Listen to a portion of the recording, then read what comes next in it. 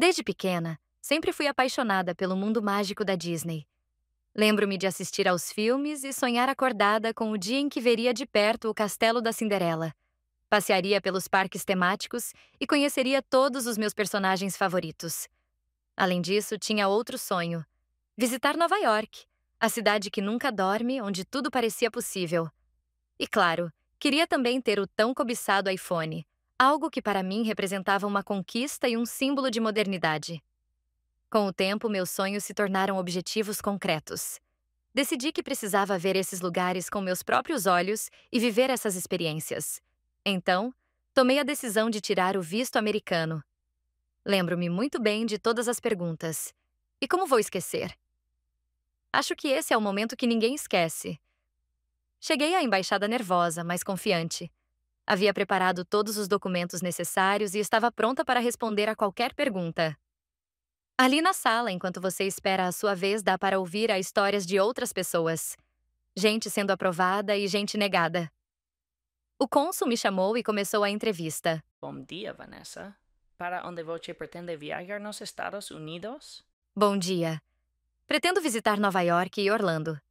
Quero conhecer os pontos turísticos e os parques da Disney. Qual é o propósito da sua viagem? É uma viagem de turismo. Sempre sonhei em conhecer esses lugares. Você já viajou para fora do Brasil antes? Sim, já viajei para a Argentina e o Chile. Você trabalha atualmente? Sim, trabalho como gerente de marketing em uma empresa de tecnologia. Há quanto tempo você está nesse emprego?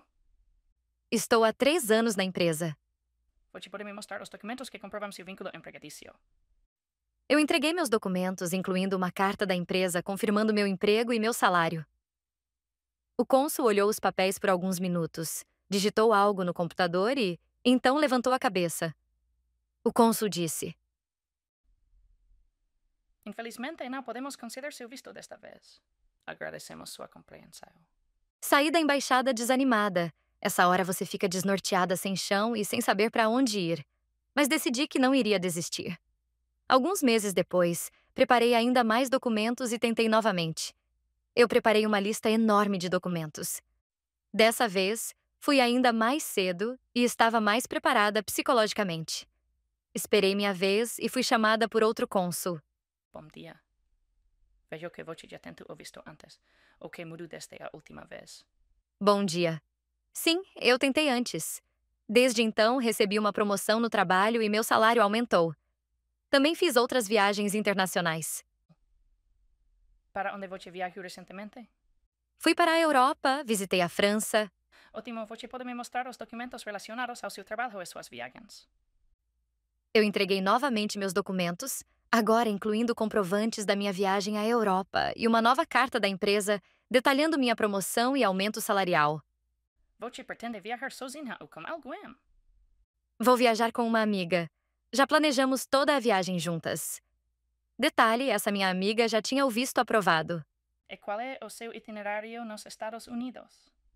Vamos ficar cinco dias em Nova York, depois voar para Orlando e passar mais sete dias lá visitando os parques da Disney e Universal. Você tem algum parente nos Estados Unidos? Não, não tenho parentes lá. Ele digitou mais algumas coisas no computador. Olhou novamente para meus documentos e, depois de um momento de silêncio, falou: Infelizmente, ainda não podemos conceder seu visto desta vez. Agradecemos sua paciência e compreensão. Foi um balde de água fria. Saí da embaixada ainda mais desapontada do que da primeira vez. Perguntei a mim mesma o que mais poderia fazer para provar que meu interesse era puramente turístico.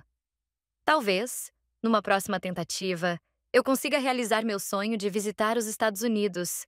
Mas dentro de mim, a vontade de realizar meus sonhos era maior que qualquer obstáculo. Resolvi tentar uma última vez. Na terceira tentativa, estava nervosa, mas também mais determinada do que nunca. Esse cônsul parecia estar em um dia bom e não me fez muitas perguntas. Aliás, nem pediu para ver toda a documentação que eu havia levado. Ok. Seu visto foi aprovado.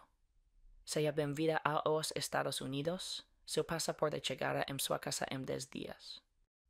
Quando finalmente ouvi que meu visto havia sido aprovado, foi como se um peso enorme tivesse saído das minhas costas.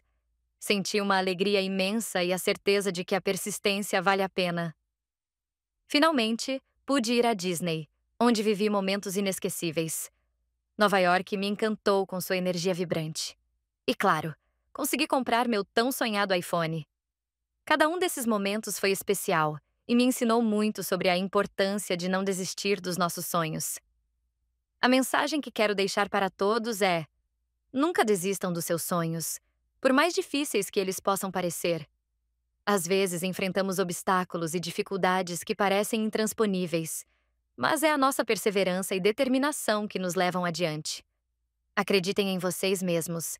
Continuem tentando e, acima de tudo, nunca percam a esperança. Se eu conseguir, vocês também conseguem.